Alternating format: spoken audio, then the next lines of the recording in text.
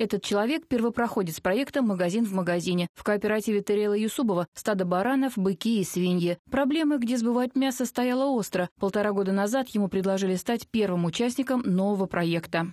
Такая система торговли коренным образом отличается от работы перекупщиков, что скупают мясо по деревням. За качество продукта можно спросить лично у производителя. Домашнее мясо, полуфабрикаты, продукция пчеловодов. Такие магазины в магазине работают в супермаркетах «Пятерочка», «Покупайка» и «Магнит». Сейчас их уже 12. На ближайшие годы это 100%.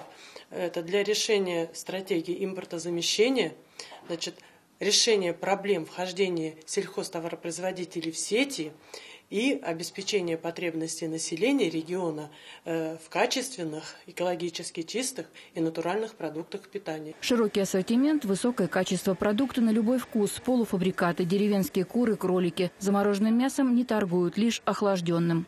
Всегда все свежее, вкусное, ежедневно поставки. Котлеты очень хвалят, свежее мясо. Приятно слышать, когда покупатели приходят и с благодарностями, что очень вкусное.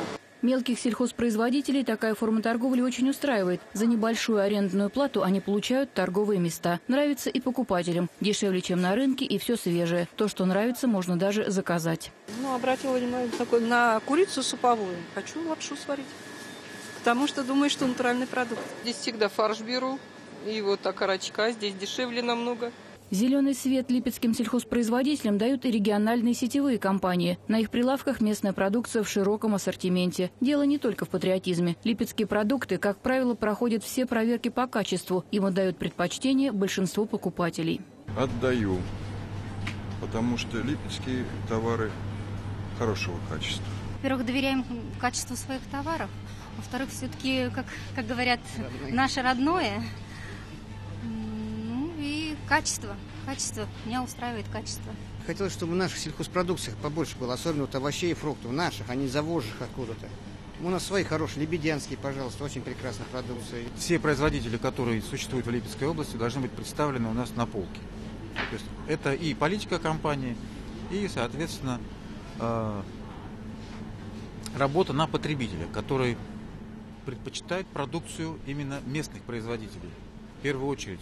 Магазин в магазине можно рассматривать как успешный стартап для начинающих. Накопив средства, бизнесмен может в дальнейшем открыть собственный магазин. Только в прошлом году липецкие кооператоры открыли 15 таких магазинов, а всего по области их более сотни. Вот буквально два дня тому назад в управление обратился предприниматель, который занимается заготовкой мяса свинины, для того, чтобы ему также э, организовать торговлю в формате магазин в магазине в, на поселочке, в поселке Матырский. Марина Карасик, Анатолий Гончаров, Михаил Жилкин. Липецкое время.